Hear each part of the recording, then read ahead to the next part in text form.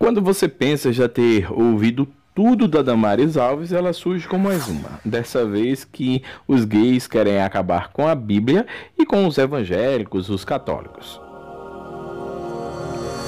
Olá, Damares Alves ficou conhecida como a ministra que disse que menino veste azul e menina veste rosa.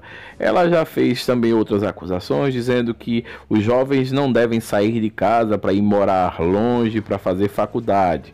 E agora acusa os gays de quererem acabar com a Bíblia e, em consequência, com evangélicos, com católicos, com religiões. Seria mesmo esse ódio existe? Confere no vídeo. O movimento gay andou falando por aí que as duas palavras mais homofóbicas no Brasil são sodomitas e efeminados. Aonde estão essas duas palavras? Na Bíblia Sagrada. Nós temos um projeto de lei lá na Câmara dos Deputados, 6418-2005, está na Comissão de Direitos Humanos da Câmara. Esse projeto de lei já recebeu um, um relatório, um parecer, dizendo o seguinte: recolha-se no Brasil toda a literatura homofóbica antes, antes do inquérito policial.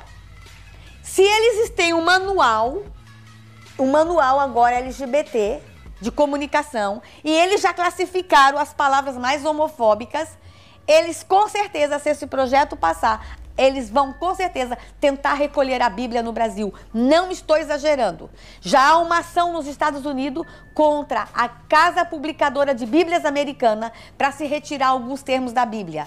Nós corremos esse risco no Brasil porque o movimento gay, ele é articulado e, e ele aí, sabe... você que é evangélico, católico, cristão, acha mesmo que os gays querem destruir as igrejas, a Bíblia? Deixa sua opinião, deixa seu recado, Bloco Social, a gente quer debater isso. Tchau, tchau.